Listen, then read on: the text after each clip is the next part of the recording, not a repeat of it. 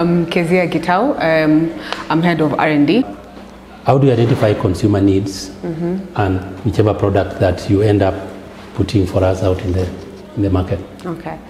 So one uh, R&D is a very big, uh, big thing in bio, and uh, definitely uh, for the last four years I've been in this company, we've actually done quite a lot when it comes to R&D, from probiotic yogurts to Greek yogurt, and now we even are venturing into a plant-based uh, yogurt. And so um, one of ways of actually how we identify consumer needs is um, world trends, because one of the things you'll notice that we are always among the first ones to actually do something that no one else so far has done. And so we really look at the market in a very wider perspective rather than just Kenya. We don't even just look at Africa, we actually look at what the world is actually doing. And uh, we have that and we get quite a lot of support from our suppliers because uh, we have quite a lot of uh, imports. And because of that, we always have talks with them where they're able to come and uh, discuss with us things that even other markets outside Africa that are doing. And what was very interesting, even by the time we were getting Greek yogurt out there, we actually thought it was actually new to Kenyans, Yes. but it was really exciting that people actually knew about it. Some of them are like, "Ah, you guys have Greek yogurt!" Finally. Yeah, finally. And I guess it is also based on the fact that our market is just not uh, uh, Kenyans alone, because we're also targeting expatriates, and all these people are people who actually travel. And even most of the Kenyans we are targeting are people who actually travel and know quite a lot when it comes to um, great trends outside the world. And other than that, we listen to our customers, because one of the things that we're very b- big at is consumer feedback, and we've put up our platforms whereby we allow our customers to actually bring back their feedback. So we do listen to our consumer. How enlightened is um, is the kind of consumer you serve? Okay, you've talked. Some guys are traveling and all that, asking all these questions. But I think one challenge that in this kind of market is that consumer A tells you do this, consumer B mm-hmm. tells you do that, Yeah. consumer C. So how do you sieve it until How do we save it until the butter? So I, I think we we allow all comments to come in, uh, whether mm. it's consumer A, B, or even C. And at the end of the day, you know, as a company, you have a vision and the direction you're going. Mm. So at the end of the day, as much as what comes in from the consumer, we also have to look at the, what the company believes in mm. and what the company believes in. So we come and merge that with what the company believes and what the company wants to actually offer outside there. Because one of the things for you to actually become a very successful in business is that you need to know your market. So at the end of the day, I, there's a wide market. I need to know and have a focus on one of those and decide this is the where I want to go. And that has always been set from the beginning, ever since Bio was ever born. The kind of market that it's targeting was always set, and we always come back and uh, audit it against that. Okay. Yeah. Now, um, four years, because the company has been there for a long time. What is the the space for innovation that the kind of support systems behind bio? So you've talked about your suppliers and your partners and, and all that. Is that getting easier for you if you need this kind of hydrocolloid or you need some equipment and you need all this, you need knowledge, you need mm-hmm. support from somebody who knows better. Mm-hmm. Is that environment getting easier for you in the kind of work you do in product development?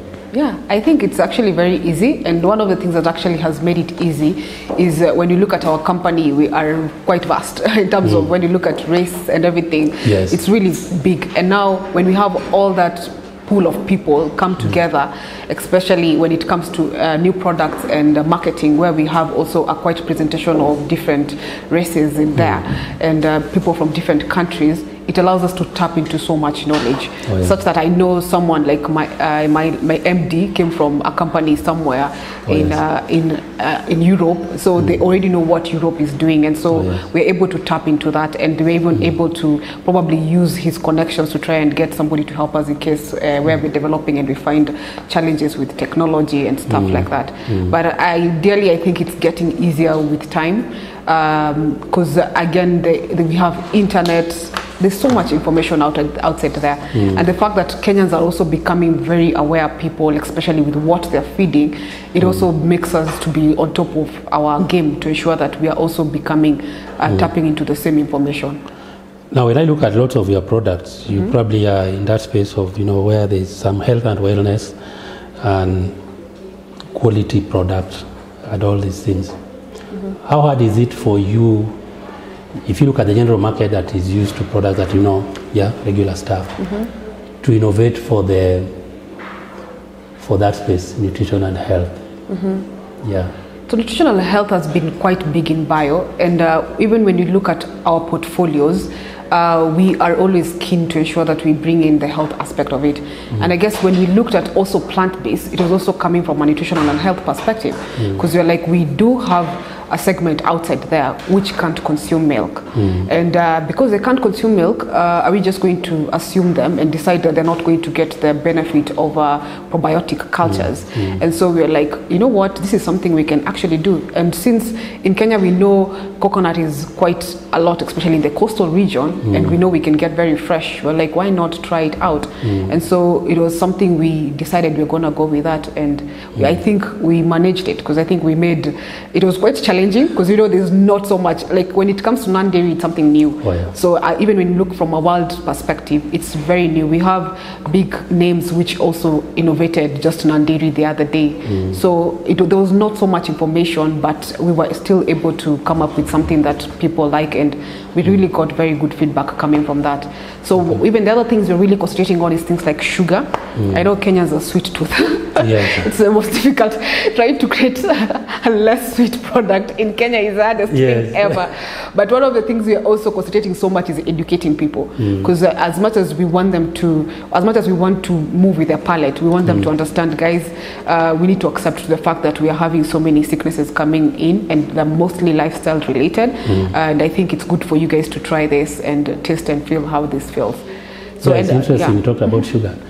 I'm on my third week of having a break with it. that's hard. nice It's hard.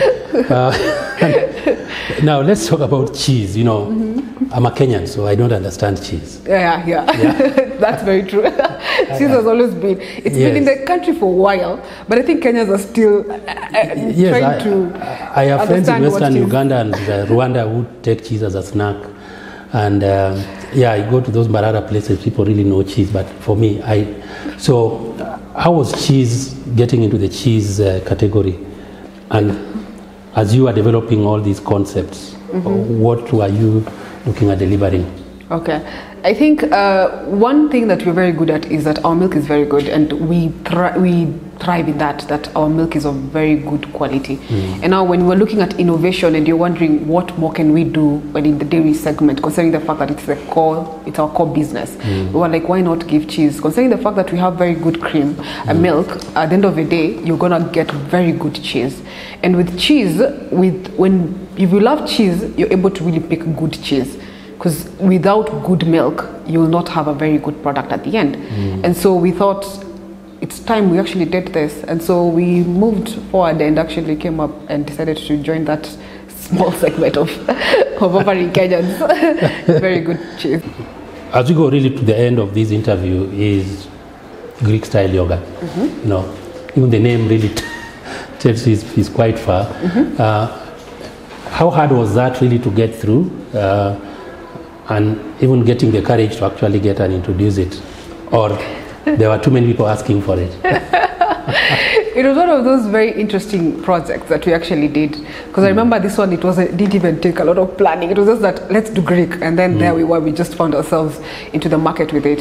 And what was very interesting with it is our concept when we came up with Greek. Because we were like we want to have something very thick something hmm. that will offer uh, consumers uh, high protein and high fat and very creamy. Now what was interesting was the flavor part of it the fruit part of it. So we decided we were going to go Mediterranean and so, uh, so we did, Uh-huh. other than nature, which definitely nature is always our highest selling, we decided we are going to go with flavors like prune, flavors like fig, flavors like honey. The other thing is that most of the world trends, Greek always goes with honey. Hmm. And so we went that way, and the reception was very good. But again, we also noted that Kenyans will always be Kenyans, and Kenyans love their vanillas hmm. and they love their strawberries so much. So we were like, why not just give them one of those things that they love most, vanilla? Hmm. And uh, so we went out with vanilla. We even decided that we we're going to do real fruit vanilla, and that's what we added to it. And we, it was very nice. The combination of just Greek and vanilla was really awesome. It was very creamy and very tasteful. And I think we we did we did make a right decision. What I realize is that um, Yes, in a market where vanilla and strawberry seems to be, you walk in blind and you just You pick just it. pick. Um, you've really played around with flavors, Mm-hmm. you know, combinations, whether it's in your drink uh, category or in Or your. yeah, How was that?